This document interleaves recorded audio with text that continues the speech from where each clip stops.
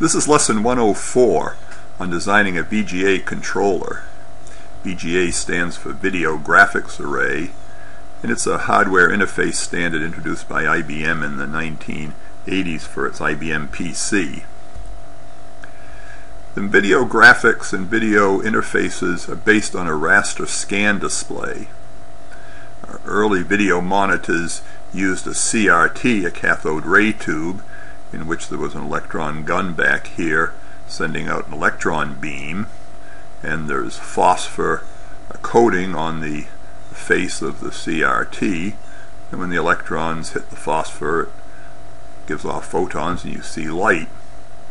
And the point is there are um, electric uh, plates or magnetic coils which will cause the electron beam to scan across in a horizontal fashion row by row and it takes a 60th of a second to go down the entire array.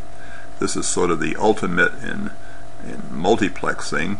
Only one dot here will be lit at a time, but because it lights up the entire array of uh, dots on the screen every 60th of a second, then your eye integrates it and it looks as if there is the complete image on the screen. Color displays work somewhat differently. There are actually three guns in the old CRTs. Um, on the phosphor, there are red, green, and blue dots arrayed in sort of this uh, packed hex hexagonal uh, array. And uh, uh, what happens is there's actually a shadow mask behind the screen with a whole bunch of little holes drilled in it such that the electron beams which are offset uh, go through uh, different holes. For example, as this red electron beam uh, for, for, the red gun uh, scans across, it goes through, uh, it only hits the red dots because of the angle that it comes through the um, through the little holes in the shadow mask. Same for the green and same for the blue. So your eye will integrate uh, the red, green, and the blue. So if you have just red and green, then you'll see yellow. Now LCD displays work differently, but the interface is the same, the VGA interface. That is, it's based on a raster scan in the same way. If you want to display a uh, character, say an A on the screen, then you have to turn on the dots in such a way that the A gets displayed. So as the electron beam is scanning across this row, you have to turn on this dot, and then on the next row it comes along, you turn on these three, and the next line you'll turn on those four, and so forth. And so it takes a, a number of lines before you actually get the A displayed.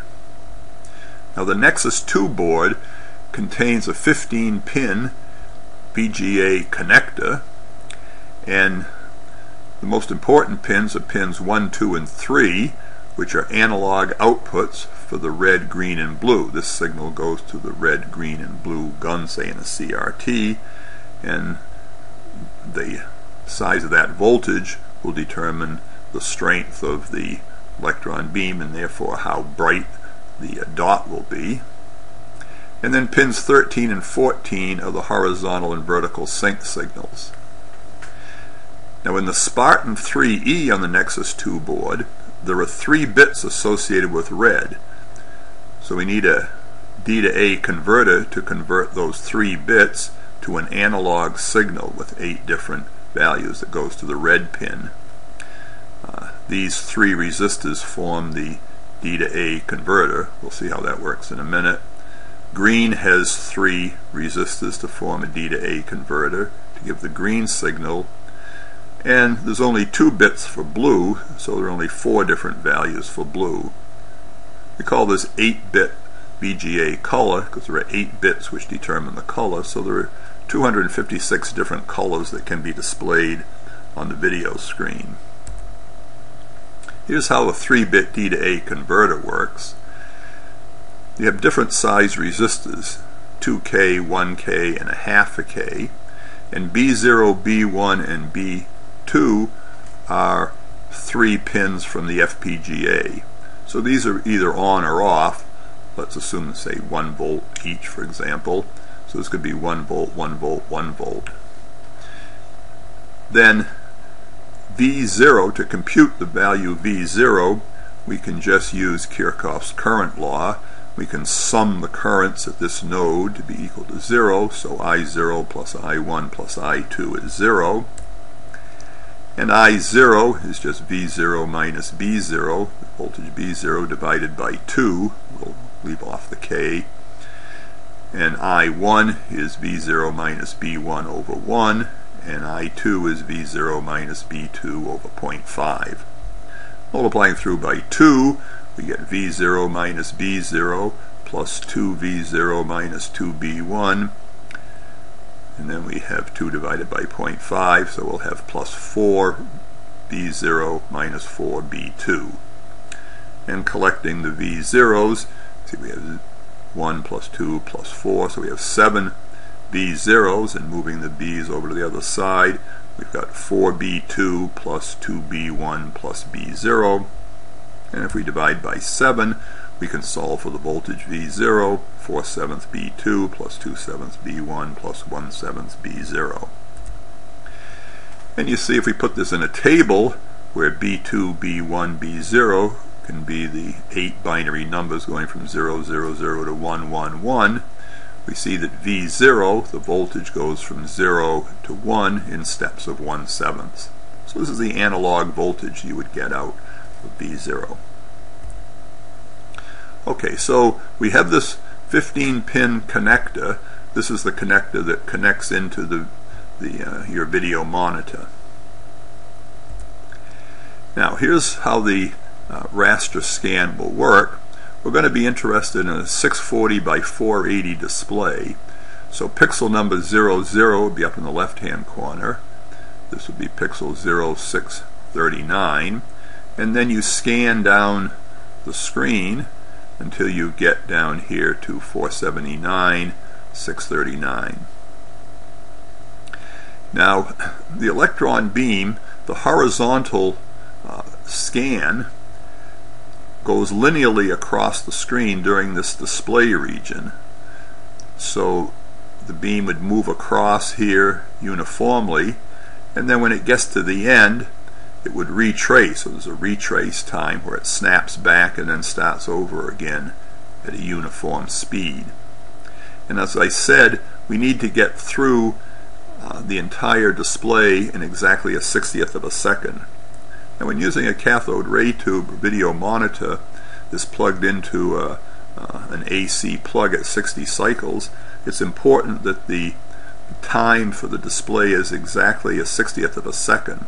If it's off a little bit, you'll get the display to, you know, make you seasick because it'll have the beat frequency which will make it look like it's moving a little bit. So you need to lock it in at a 60th of a second. The horizontal sync pulse is a pulse which goes low and then back high to start this retrace. And then there's a time following the time when the horizontal uh, sync pulse goes high. It's called the back porch. It's mislabeled here as the back porch. And then the display time is during this linear time. And then there's a little delay time here called the front porch. And then the sync pulse goes low again. So we're going to have to generate this horizontal sync pulse. The, uh, there's a similar uh, sawtooth at a much slower rate for the vertical retrace. So we'll look at each one of these. So here's the horizontal timing. Here's the horizontal sync pulse. This is the time to go across the screen. And here's the back porch time, and here's the front porch time, and this is the display time. Now we're going to use a pixel clock of 25 megahertz. That means the pixel time is 0.04 microseconds. If we want 640 pixels, then the horizontal video, the time that this video is on here, will be 640 times 0.04 or 25.6 microseconds. The back porch will pick to be 16 pixels at 0.04 is 0.64 microseconds, that's this time. The front porch, also 16, the same 0.64, will be this one.